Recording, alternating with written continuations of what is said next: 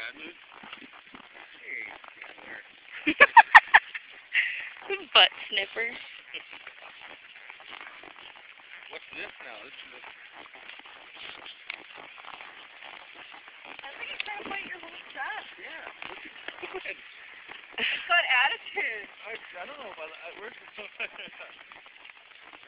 You want to like fuck you off. He's just, he's just. Look at you.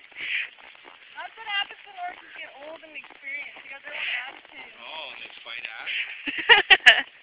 they kick your ass. He's obviously the dominant. orca. Nibbling the bump? What, is that another bump? Is that like a progressive bump? Yeah. Somebody bought that. Crombie did. My dad sold it to. Well, he. Sold it to Crombie. No, no, he didn't sell. Well, yeah, I. Yeah, because there was a murder in it.